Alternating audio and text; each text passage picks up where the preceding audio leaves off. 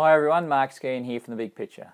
So today we're starting to get into some of the power of Solstice. And this week we're showing you how to get a truly immersive collaboration set up by creating a collaborative wall, for want of a better term.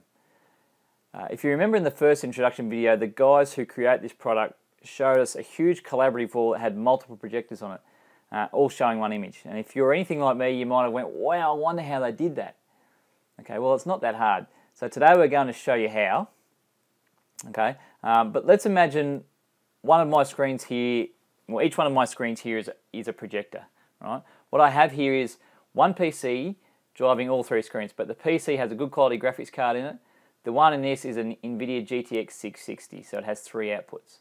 I'll try not to lose any of the less techie people here and I'll keep this quick. So for the techies, you'll know you can't really open an application across all three screens uh, if you run it in extended desktop, unless you sort of stretch it uh, and it's out of proportion. So, and with Solstice, you can't even stretch it. So, what you have to do is go into the settings of your graphics card, and on the NVIDIA cards, there's a surround setting, which the gamers use. Uh, and if you turn that on and set up your screens, you can stretch it no problems. It only takes just a second. So, in the other card of NVIDIA's, it's called Mosaic. But basically, what we're after here is a graphic card that supports single logic screen mode. Okay, there's a fair few out there, and this will work. So let's get to it. I'll just change my settings on my graphics card. I'll show you how easy that is. So I'm going to my just my desktop. I'm just going to right click and go to my graphics card. Bring that over here so you can see. In 3D settings, configure surround, span displays with surround. So I'm just going to click on that and press apply. And apply again.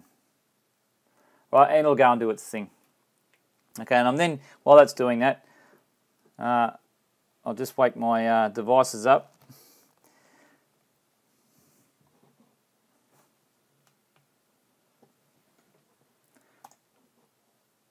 Okay, and you can set these screens up for the gaps and things like that if you need to, but on a projector that wouldn't need to be an issue, or wouldn't need to happen.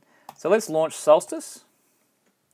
And as you can see here, we're now spanning across all three screens. So that's really cool. So uh, we're just going to connect. On I'm just connecting iPhones and iPads at the moment. Obviously, as I showed you last week, you can connect your desktop or PC uh, and screen share and do all that sort of fun stuff as well. Uh, but let's let's just connect. So we open the Solstice client. The Solstice client is free from the App Store. Press the big purple button, okay, and it goes looking for what devices are there as Solstice display. All right. As you can see here, Mark's iPhone is connected. This phone hasn't actually been named, so it'll come up as guest. We'll open the Solstice client.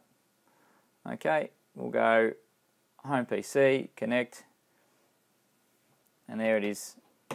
Guest is up there, and this one's just about flattened my good old cracked ice, iPad 1.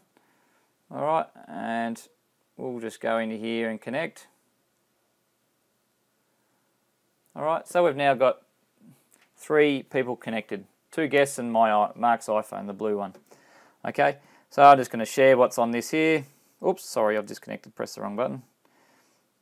Uh, so I'm connected. I can share. So I've just gone to a web page on my iPad. And I'll share this one here too on the iPhone. So we bring up stuff. And uh, let's bring up an image from my iPhone. Okay. So you can see we're getting to the power. And, and what we'll do is just, uh, I'll just grab my uh, let's just use, well, while that's doing this, hang on.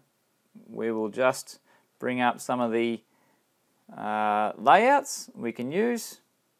Alright, so I'm going to press on that little food image and I can move that around. So I've got full control over where things are going. Okay, I can set, pull up the other image from the other iPhone and I can move that around. Alright, we'll move that over to the right and I can bring up the iPad image. Okay, and I can move that here. So you can see we can uh, highlight different things with people working together collaborative, collaboratively. And you can see the power of that there. You can also have different layouts like we talked last week, okay? Uh, and you can move across just by pressing across like that. All right. Um, you could do some things like this. Bring one to the front. Uh, you know, one, two, three, four. I like the full flexible uh, option because you can just move things where you want or or the uh, or, uh, the other one that's really good is that so you can just move through the slides or through the images okay So we'll just bring that to freeform and away we go. All right. Uh, so as you can see here, we've got a huge amount of real estate, and if this was three projectors uh, at a 100 inch screen, you'd be looking at 300 inches or about 7.5 meters of wall space. And you could do this, uh, then you can bring up as many connections and collaborate with uh, without any issues of sizing. Okay, so so you might say, well, this is all well and good, but how much does that cost? And uh, you might look at it and think, well, that'd cost in excess of 20 to 30k. And in the old functionality or the old AV setups, you'd be right and in, in excess. So I'm going to do, use do a rough calculation using Solstice. And let's say you used Epson ultra short throw projectors, 3000 ANSI lumens, so it's nice and bright. And we project onto a whiteboard that's already in the room. So 1500 bucks each for your projector, bracketing and mounting for your projectors, cabling back to your PC, a good graphics card and a PC, Solstice display license, installation, 12RU rack. Round figures, that simple setup would cost you somewhere between 12 to 13k for a very basic setup.